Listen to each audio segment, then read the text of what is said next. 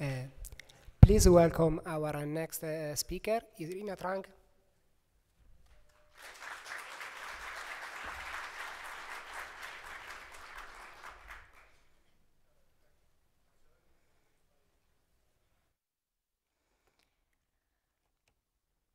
Hi everybody, my name is Irina Truong and I will be talking today about adapting from Spark to Dask and what to expect. I work for Parse.ly as a backend engineer, and we process lots of data with Apache Spark and Apache Storm. I also wrote wharfee, which is a CLI for Docker, and I maintain pgCLI. To Dask or not to Dask? That is the question. So if you came here to this session, you may be considering this journey and asking yourself a lot of questions, such as, is it possible? Is it worth it? What will go wrong? What about performance? I did too. Because how does this make you feel? Executor lost failure, container killed by yarn for exceeding memory limits. Can you raise your hand if you have seen this before? Your favorite, right? What about this? It's a java.lang null pointer exception. Maybe it's too small to read, but you have like a hundred lines of stack trace there. None of the lines are in your code. What about this one? Executor lost again. There should be a driver stack trace there. There's zero stack trace and you know, go diagnose it. I know how this made me feel. So when Dask promised no more Java heap space or container killed by yarn, meaningful stack traces, real-time visual feedback, I jumped. if something sounds too good to be true, that usually is.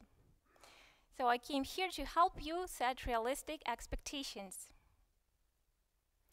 Let's back up. How many people used Spark before for anything? Okay, that's a good number. I'll be quick here. Spark is a general data processing engine which um, is good for batch processing, stream processing. It has a SQL engine built in. You can run it on a multitude of scheduling backends such as Hadoop Yarn, EC2, Mesos, and as a standalone cluster. You can write applications in Java, Scala, Python, or R, and run them in Spark. It's developed by Apache Software Foundation. What is Dask? How many people had any uh, business with Dask before?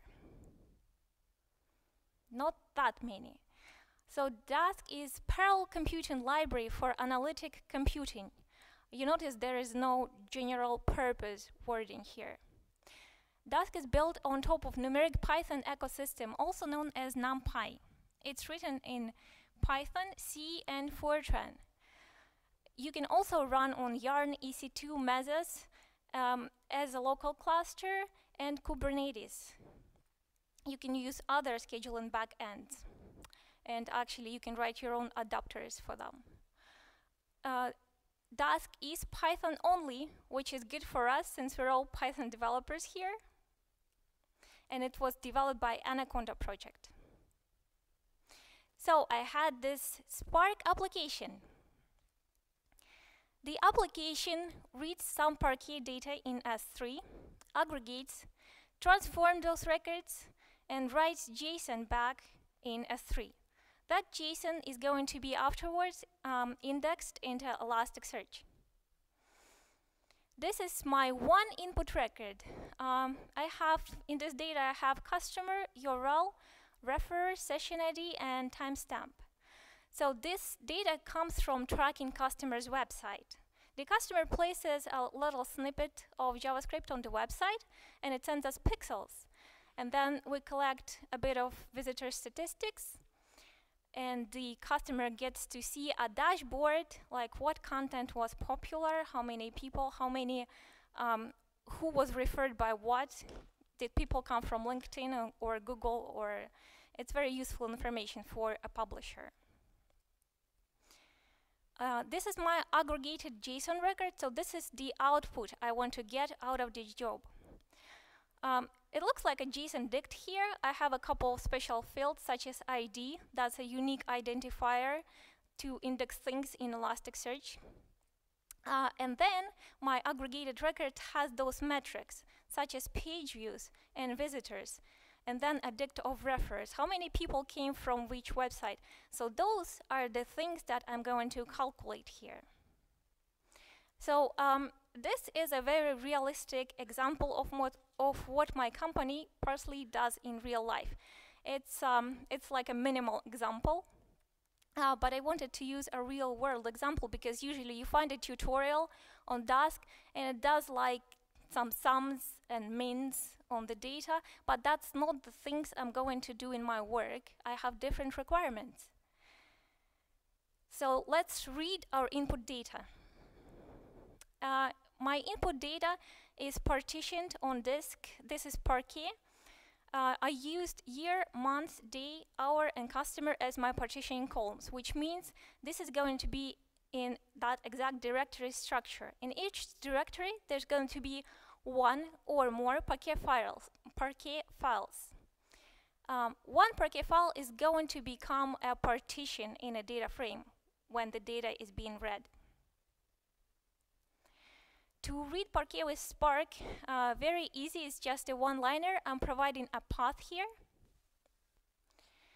To read Parquet with Dask, um, I call this dd read parquet method. dd is a Dask data frame, uh, providing a file mask. Then I'm dropping my partitioning columns because actually after I have read this data, I don't need them anymore. Now aggregate and transform. Aggregation. First, I round my timestamps down to an hour because this is the period that I want to aggregate. Then I group by customer URL and this rounded time period. Then I count my statistics. Count everything becomes page views. Count distinct session IDs becomes my unique visitors. And then I have this special function called count values to put my reference into a dict with uh, numbers. How many people came from where?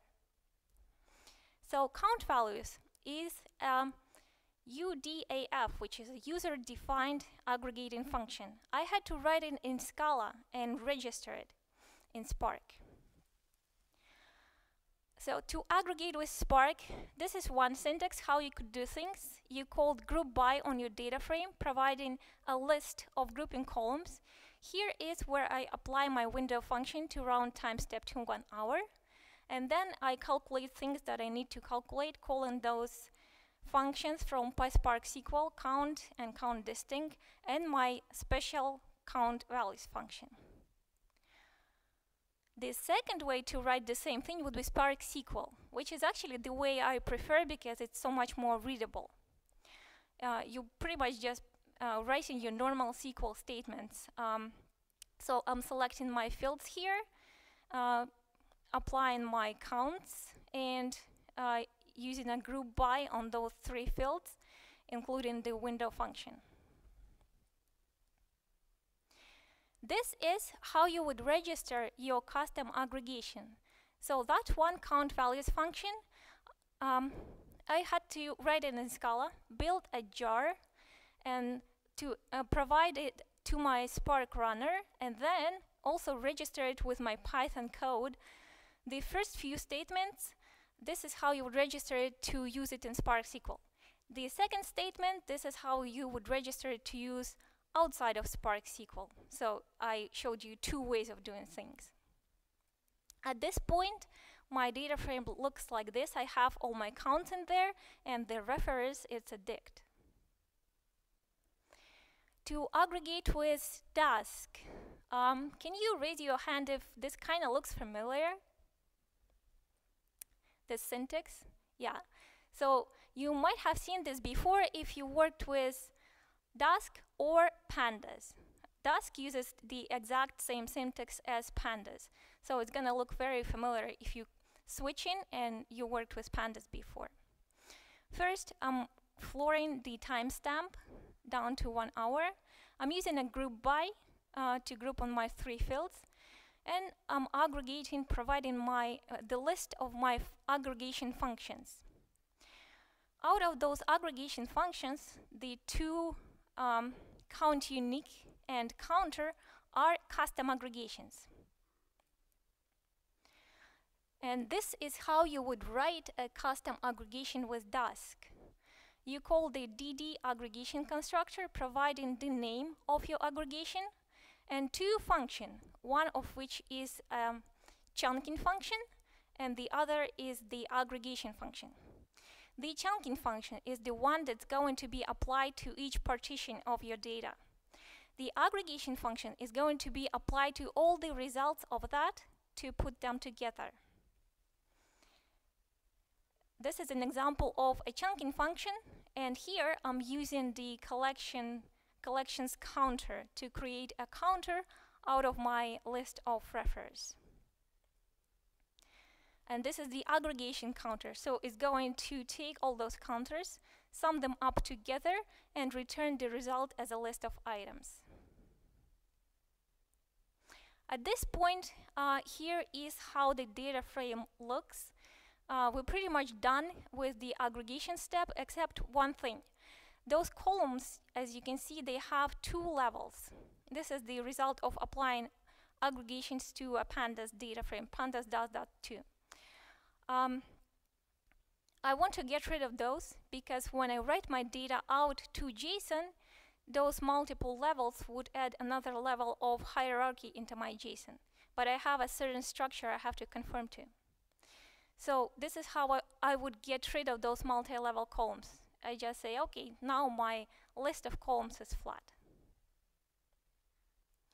To transform things, I take this aggregated record and create a couple of special fields such as ID out of customer URL timestamp and put my page views and visitors into that dict you saw called metrics and make refers a dict. With Spark, I can also use Spark SQL here. It's quite readable. Um, I format ID, select customer URL timestamp as is, and then reformat my metrics. So those two helpers, format ID and format metrics, are Python functions, user-defined functions. I also had to write them in Python and register in Spark. With uh, custom function, you can write it in Python or Scala with the custom aggregation function in Spark. You can only write that in Scala. At this point here is how one record looks. So it's a dict, and we can write it to um, as 3 already.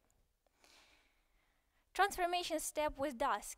I take my data frame and I apply this transform one function, and the function body is here. My data is, is uh, coming into the function as pandas series. I take the series, create a dict out of it, and basically just reshape my dict as I need to. I'm using those formatting helpers here either. I have to return series again. So one record at this point. Uh, pretty much the same thing here. How do we write it out? To write JSON with Spark, you call data frame write JSON providing a path to write JSON with Dask, um, for some reason, um, Dask data frame doesn't have a method to write things to JSON, even though you can write things to Parquet, to HDF, to CSV, and multiple formats. But I think it will probably be added at some later point. But to write this data, I had to convert my data frame to bag, which is an unstructured set of records, kind of like Spark RDD. Then I um, dump all my records as strings and write them to text files. Okay, what about performance? I ran this on various sizes of datasets. Those are my two biggest datasets. First one is 100 million records with 2 million records per partition. Spark takes about 3 minutes to uh, get through this data on my MacBook Pro. Uh, Dask takes about 40 seconds. The second data set, the biggest one I generated, was 1 billion records, and Spark takes 45 minutes to process that. Dask takes 16 minutes. So um, we can see that at least on the local machine, um, Dask is doing great compared to Spark. We have like three to four times improvement. My benchmarking setup, I tried to make it as even as possible. Those are the settings that I used for executors, uh, for Spark executors, um, the same as for Dask workers. And I also had to run things in a cluster just to make sure, you know, things can be done and also to benchmark things. This is a pretty small cluster in Amazon EMR. It's small as clusters go, just has two core nodes and one master node. The core nodes have 8 gig of memory each and 8 vCores. The master has 8 vCores and 16 gig of RAM. Uh, with Spark, when I got things on the cluster, um, I get about 12 minutes for my to process my biggest data set of 1 billion records. With Dask, I tried a few different setups. First, I tried the yarn scheduler from Knit library, because it seemed like the natural thing to do. Uh, I used four workers uh, per node, each with three cores and five gig of RAM. It's, uh, the runtime is close to 11 minutes here. Then I tried things with Dask distributed uh, scheduler from Dask distributed library. I also used four workers. It's pretty much the same runtime, uh, except if I'm doing things this way, with workers just running on my core nodes, I'm really not utilizing my master node. I can put an extra Dask worker on the master node, um, and it will give me around nine and a half minutes of runtime. Um, with Spark, I can't do that because my driver program runs on the master node and it's actually quite greedy. Dask scheduler that runs on the master node is not quite so greedy. This is why I can fit one more worker there. Cluster deployment with Spark. Uh, if you deployed things with Spark in AWS, here is how you would uh, do things. You would create a bootstrap shell script specify that in cluster settings. Then when the cluster is spun up, the bootstrap script creates your uh, VM, installs all the requirements. Then you have to your write your own custom scripts to deploy your code and jars and eggs and whatever it is when you update them to the cluster master. To start a job by hand, you would have to SSH to the master node, or you could use some kind of a scheduler or um, um, task queue, for example, RQ, to schedule job remotely. I have an example of all this setup that I used to benchmark things in my repo here. If you switch into Dask, the recommended way to deploy things is currently Kubernetes. So your deployment um, process would change completely. First, you need a cluster uh, enabled with Kubernetes in Google Cloud, AWS, or Azure, or the cloud of your choice. Then you would build all, all your requirements um, and probably code also into the Docker image. To manage the deployment, specify how many nodes and how much resources to give to each node, uh, you would have to write a Helm chart. Uh, then running the jobs is pretty much the same. For local development, you can use either Kubernetes in Docker or Minikube. Amazon currently has Elastic Container Service for Kubernetes, also called AKS, in beta preview. I imagine that once that is released, it's going to be much easier to set up a cluster, um, a Kubernetes-enabled cluster in Amazon, because right now it's quite a process. You can see the example Docker file and the Helm chart in my repo here um, you won't be able to actually run things because my repo doesn't contain my AWS credentials, which is what you need to read the data from S3. But if you generate your own data, you can actually run the thing. So how does Dask compare? Speaking of promises, remember I had those four promises in the beginning? no more Java heap space, container kill by yarn, meaningful stack traces, real-time visual feedback. That all checks out. I didn't see a single Java stack trace. I'm quite happy about that.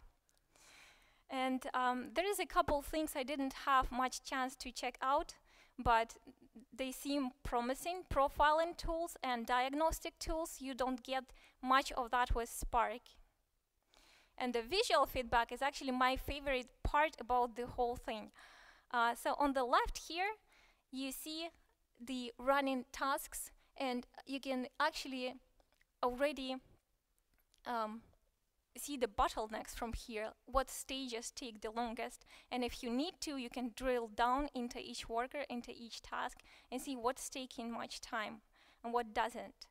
On the right, this is the workers panel. You can see in real time how workers are doing on memory and CPU. So the good stuff about Dask, it's all Python, familiar if you come in from pandas. It's easy to install with pip, and actually if you're using uh, Anaconda distribution, it's already in there. When running things locally, you up and running immediately. You just have to pip install Dask or conda install Dask.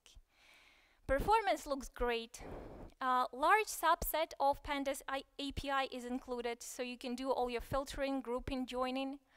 Useful datetime index operations are supported, so, so those floor ceiling round community is growing and developers are responsive. The bad stuff.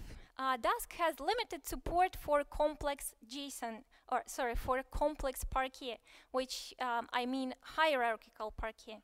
So it's like an object within an object. Uh, it's very common for JSON data. When reading the data like that, uh, Dask can read it, but it will flatten it. So it becomes much less convenient to work with if you have a lot of hierarchy in your input data. Can try JSON, or at least data frame can try JSON, but uh, you can use a workaround for that, and I'm sure it will be added at some later point. Doesn't support as many aggregation functions. Uh, for example, no collect lists, nor end unique, those are present in Spark.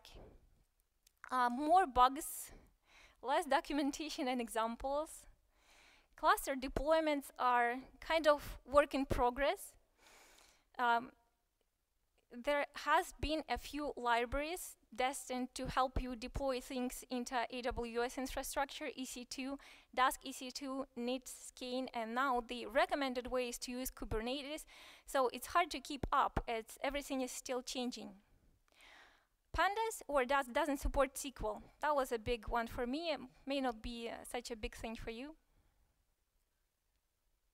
The full code, uh, it took me about 240 lines to write this. And for Spark side, a big chunk of it is that custom aggregation, which I had to write in Scala. Scala is quite verbose. You can see the full code in the repo here. I shared my slides, you can see the link, and um, big thanks to Dask developers for their help. And any questions?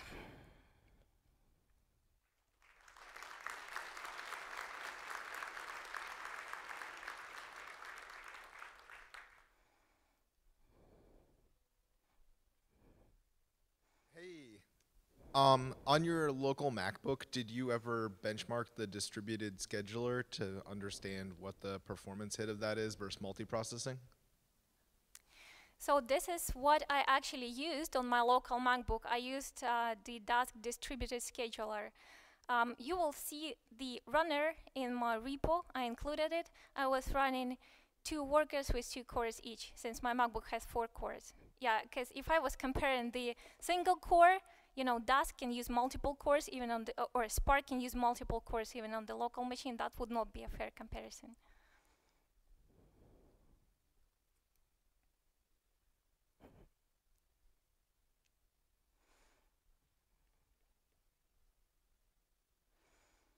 Hi, I was curious if um, you've dug much more into uh, the joining performance, like, or or the grouping, like in your instance, you were doing, uh, the example had lots of simple transforms, but when you get more complex transforms, have you checked the performance or seen like gotchas with Dask?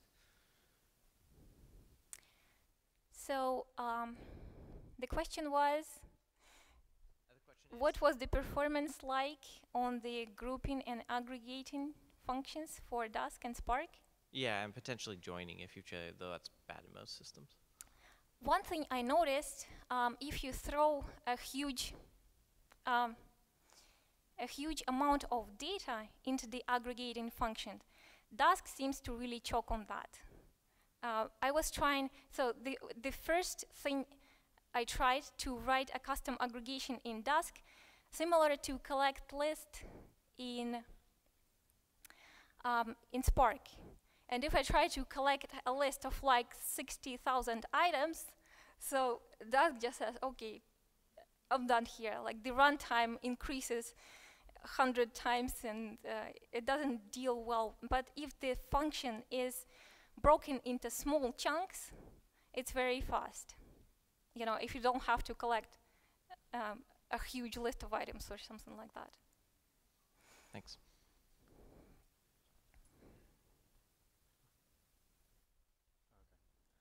So one of the, uh, oh, I'm bad at speaking to a microphone. Um, one of the big reasons that like my team tends to go for Spark for a lot of things is the sort of data streaming ecosystem that exists within Spark. Is the, you know, the the data streaming ecosystem like one of the top priorities right now for Dask? Because I know Spark kind of has this whole structured streaming paradigm and data streaming. Um, I guess what is the outlook for that on for Dask development? You think? Hmm. I'm not a good person to answer this question. I was um, trying uh, Dask with the intent to replace my badge jobs. Gotcha. Okay. Yeah, no worries. Thank you. Um, hi, Irina. First of all, thank you very much for the talk. Um, I had a couple of questions re- related to data locality, like like shuffling and stuff like that. Is, are you able to actually control the, the actual data distribution uh, within your sort of partitions across the cluster with Dask or not? Huh. I'm not sure about that because I didn't try to control it. Um, from my understanding of how things work uh, with a distributed scheduler, it's going to create uh, kind of like a random key. Mm-hmm. I know that with Spark, there is a way to con- um, control the keys. Like you have to, uh, you can write your own function based on which you partition things. Not sure if that's possible with Dask. Okay, thank you.